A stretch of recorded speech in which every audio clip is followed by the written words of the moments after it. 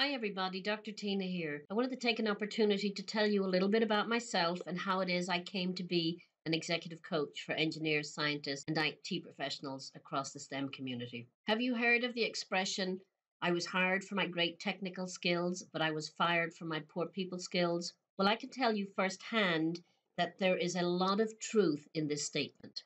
So, let me share a little bit about myself and my 25 year journey towards realizing the value of people skills which are often neglected at the expense of technical skills.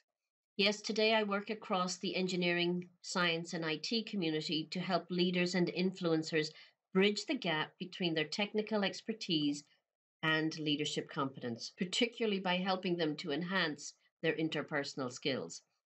What I have learned during my 25 year career is that effective people skills are the foundation of interpersonal influence and without them, we experience stress, vulnerability, and anxiety in our work life.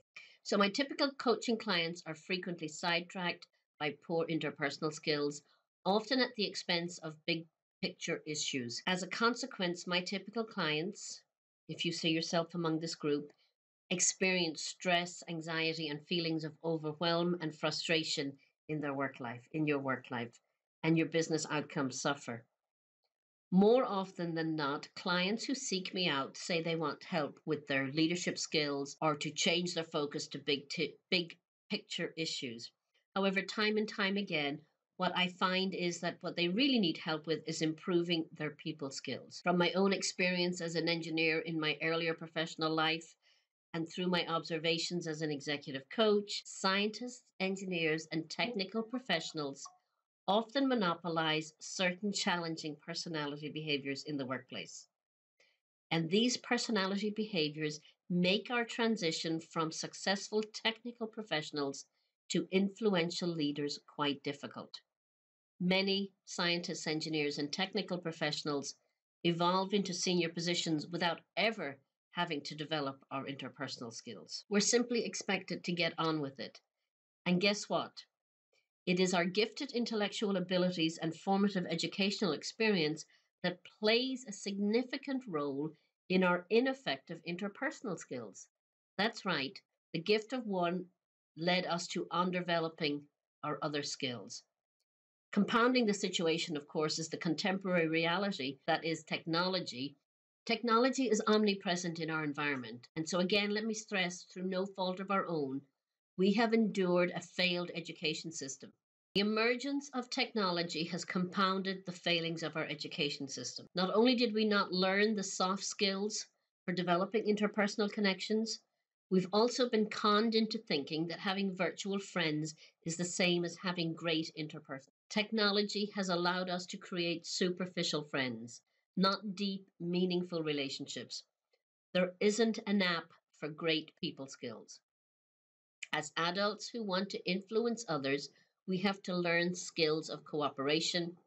We have to learn skills of cooperation. So don't blame yourself. You were not prepared for this type of working environment. Your education system failed you, and the omnipresence of technology has failed you. You now have to work extra hard to overcome these lack of interpersonal skills. Again, let me state that our lack of interpersonal skills has occurred through no fault of our own as engineers, scientists, and IT professionals. I can say this with confidence. It is because of our natural intellectual gifts that have led to the rigorous academic challenges and ever increasing technical specialization that we pursued in high school, college, and grad school even in our subsequent continuing professional studies. We have spent more and more of our intellectual capital focusing on a narrower and narrower technical field, which in turn left no time or incentive to explore the softer skill subject. Our fixation on specialization can be explained through the contemporary history of engineering education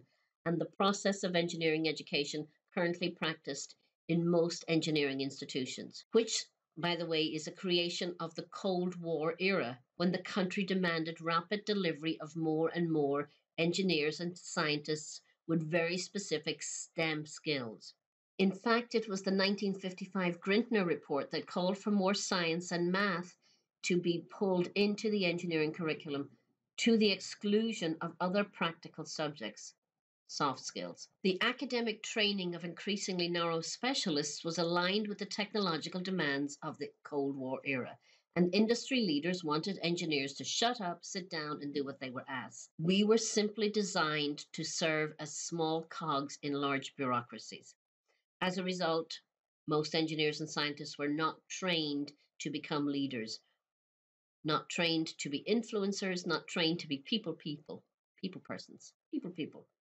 Rather, we were trained to be simple cogs in the production line. So, as a result of the consequence of both our superior academic abilities and the further speci- specialization of STEM subjects, very little time or emotional energy was left for the exploration or development of critical soft skills. And I have to admit, this applies to me personally, back in the day, sometimes even intellectual arrogance crept into our psyche as we convinced ourselves that being smarter than the average bear was all that really mattered. Stated another way, many very smart people have been inadvertently diverted from a path to developing effective people skills or developing effective influencing skills because of our superior intellect.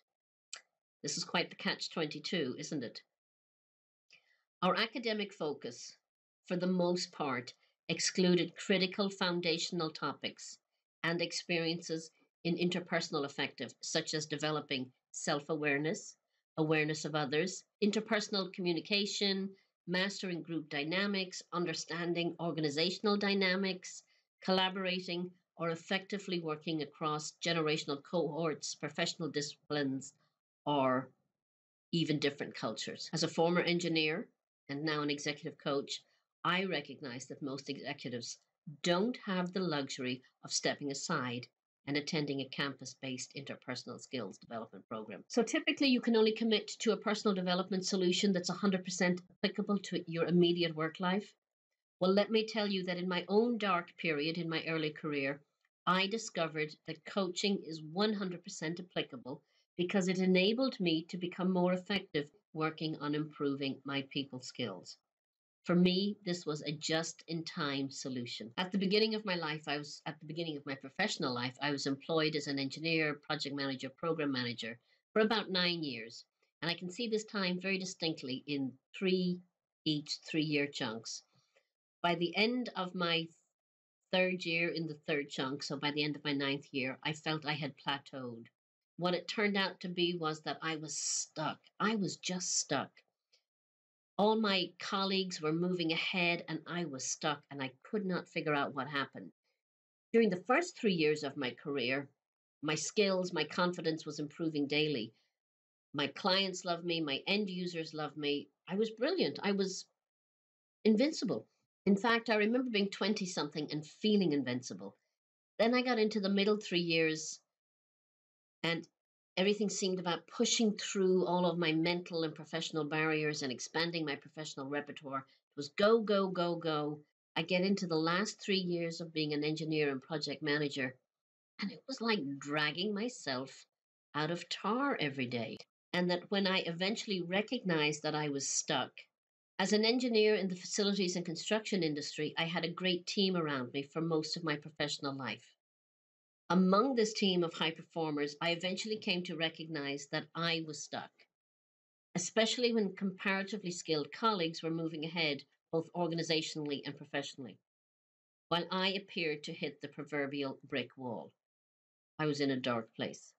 I have to admit it. I can remember it well. I was in a dark place. I recognized that I lacked influence. I had no network. I had merely competitors. My mentor, a brilliant human being, suggested that I engage an executive coach as he felt he was too close to give me objective advice about my professional stagnation. And I remember thinking, engineers don't hire coaches. We're smart enough to figure this out for ourselves. Oh, the arrogance of youth. Fortunately, calmer heads prevailed and I pursued a coaching engagement. I eventually made the investment in myself. I found this to be a watershed experience. I developed self awareness, albeit the experience of learning about myself and how others perceived me was excruciatingly painful. For the first time in my career, I began to see how others saw me and the disconnect was striking. That first journey into self was the most revealing yet most difficult road my logical mind has ever traveled. I still cringe when I recall some of the insights I gained. Through the coaching experience, I discovered that I had created my own brick wall. I had built my barrier to professional success myself. I had created my own brick wall. I was the only person impeding my professional advancement. I discovered I was a jerk. I discovered I had no people skills. Through coaching, I experienced a tectonic shift in my professional well being, which resulted in my accelerated transition from technical positions to becoming an emerging executive within 12 months of the coaching engagement. I cannot stress this point enough.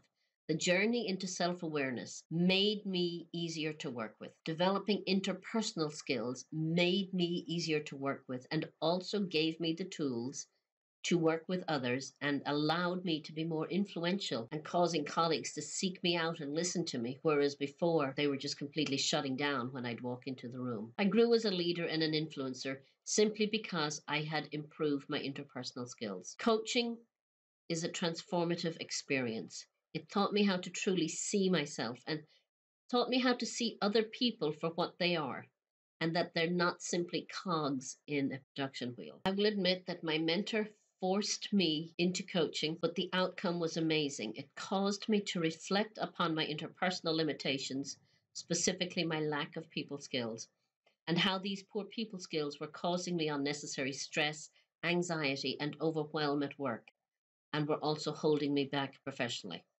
Unequivocally, I achieved personal and professional growth. And I transitioned at that point, my, I can pinpoint it very clearly in my mind's eye I transitioned from being an engineer to an emerging executive simply because of the power of coaching. As I progressed professionally, I discovered that as a leader, I was also expected to coach my own team. Over several months, I fundamentally changed my personal perspective about myself and others. I developed interpersonal skills. I learned to recognize great interpersonal skills in others and began to emulate them. I also began to be aware of poor people skills in others and cautiously help them to overcome. Over time, I studied the art and science of coaching, not only to satisfy my own natural curiosity, but also to help improve the performance of my team. And I discovered I excelled at coaching, loved it, loved it, loved it, still love it.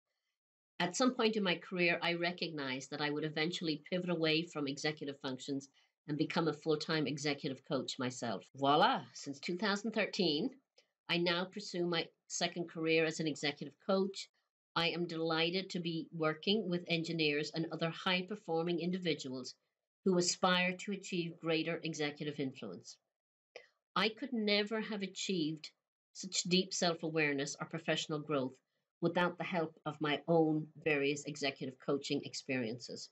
Do you remember when you first started out in the workplace, the passion you had, the curiosity, the engagement, the dreams? Do you still have those? Do you miss that part of your life? As a coach, my job is to help you observe, to assess, and to guide your professional development to returning you to a state of passion and curiosity. As a coach, I tell you what others will not or can't tell you about your interpersonal skills and your impact on others.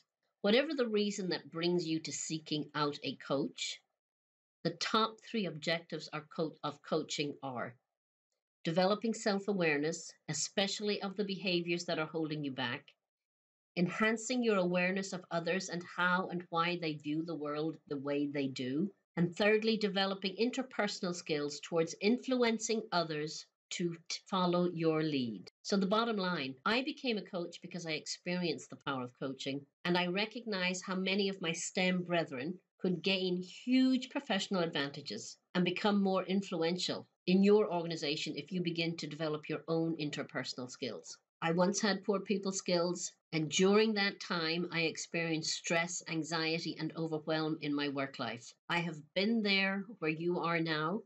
I understand your pain, and I can help you to build the foundation that you need to bridge the gap towards becoming a better people person.